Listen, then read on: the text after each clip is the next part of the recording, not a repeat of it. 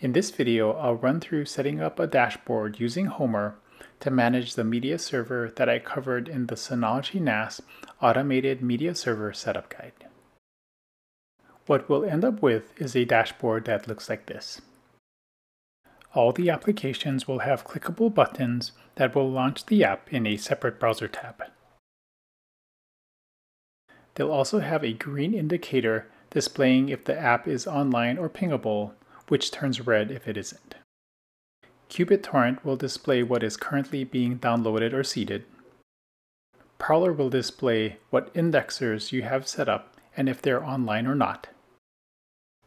Sonarr and Radarr will display release dates for TV shows and movies that you've searched for in this calendar. And Plex will display what media has recently been added and if you have a TV show or movie playing, this panel will display that information as well. For those new to Homarr, it's a modern and customizable dashboard platform that can be integrated with a ton of apps beyond the media server apps we'll be setting up. They have excellent documentation, which was all I really needed to create the dashboard I just showed you, and I recommend checking it out. I'll leave a link to Homarr's documentation site in the description of this video. Let's get to setting up the dashboard, and since this is going to be on the same Synology NAS as my media server, I already have Container Manager installed, which is the only prerequisite. From Container Manager, select Project and create a new project. For project name, enter Homarr.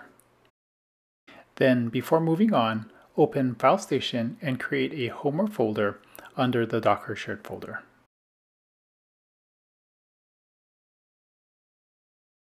You'll also need to create an app data subfolder within the Homarr folder.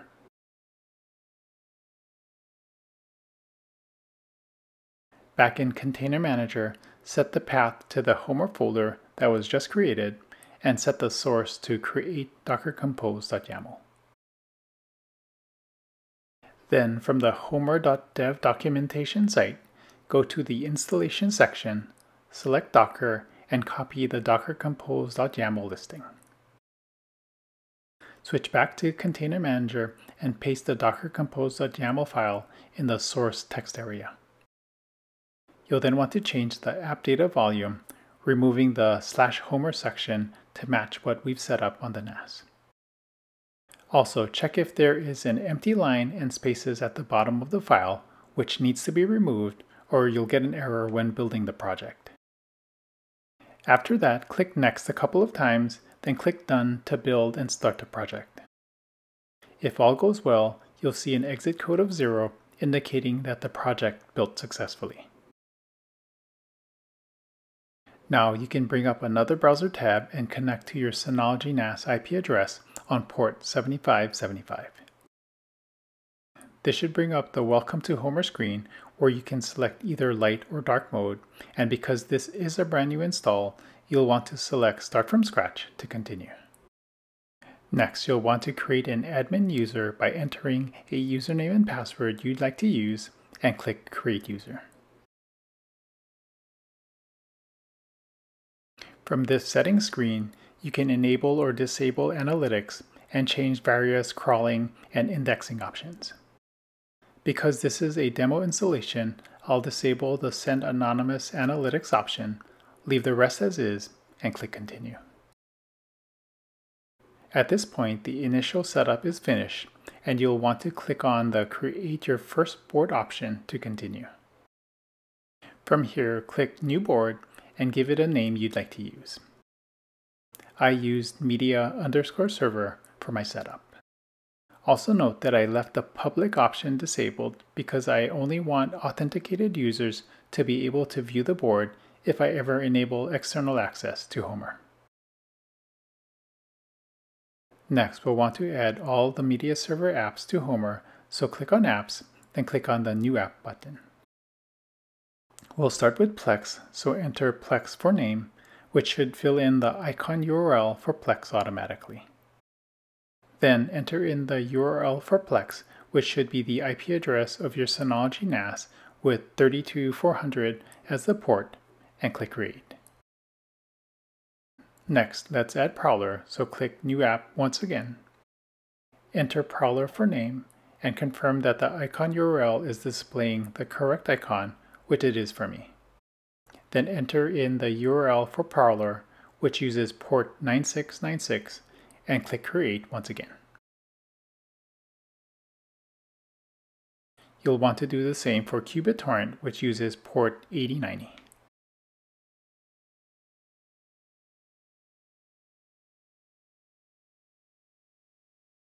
Then add Radarr, which didn't select the correct icon URL for me.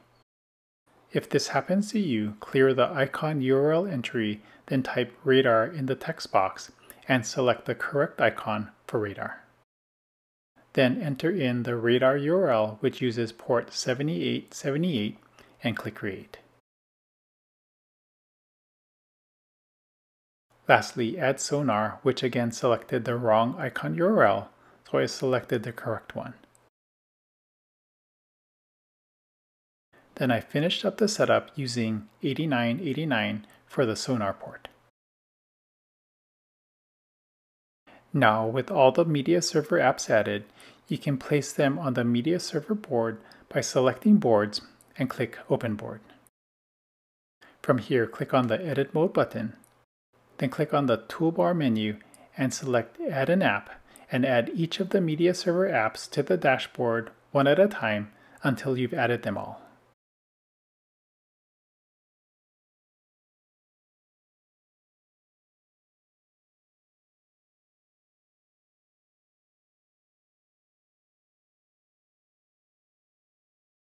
You'll then want to save the board by clicking on the Edit Mode button once again to save the changes. Next, let's set up integrations which allow for Homarr to interact with the various applications. We'll start with Plex, so first click on Plex to bring up its web UI in another browser tab. Then bring up either a TV show or movie listing, click on its menu and select Get Info. From here, click on View XML and you'll want to scroll to the end of the URL in the address bar and copy the value for the X Plex token. Once done, you can close the XML window along with the main Plex web UI, then switch back to Homarr. From here, go to the Admin menu, select Management, and click Integrations. Click on the New Integration menu, scroll down and select Plex. For URL, enter in the same URL you entered earlier when setting up Plex as an app.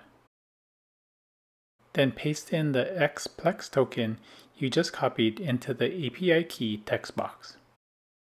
Click Test Connection and Create, and if you get a success message, Plex should now be listed in the integrations list.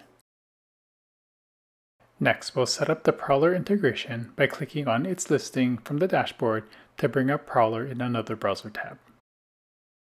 You'll then want to click Settings, then General, and copy the API key. Next, from Homarr, bring up Integrations once again. Click New Integration and select Prowlarr from the list. Enter in the URL for Prowlarr, then paste in the API key and click Test Connection and Create. The next integration we'll set up is qBittorrent. We don't need any information from qBittorrent, so click on New Integration and select qBittorrent. Enter in the qBittorrent URL, then enter in the username and password you set up for qBittorrent under Secrets and click Test Connection and Create when done. We can now move on to Radarr and we'll need its API key, so click on it to launch the application in another browser tab and log in. Select Settings, then General, and copy the API key. Now close Radarr, then bring up integrations once again from the Homarr management window. Click New Integration, select Radarr, enter in its URL, paste in the API key, and click Test Connection and Create to add the integration. Next, launch Sonarr from the dashboard and log in. We'll need its API key as well, so click on Settings, then General, and copy the API key. Close the Sonarr tab, then bring up Integrations in Homarr once again. Click on New Integration, select Sonarr, enter in its URL,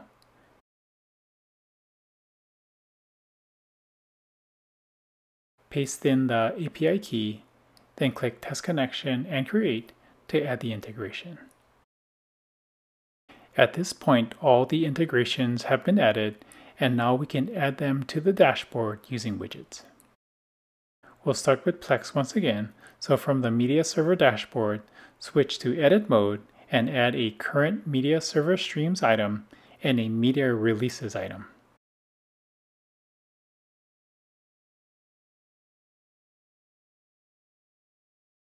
For both, click on the Settings menu and select Edit Item. Then select the Plex integration and save the changes.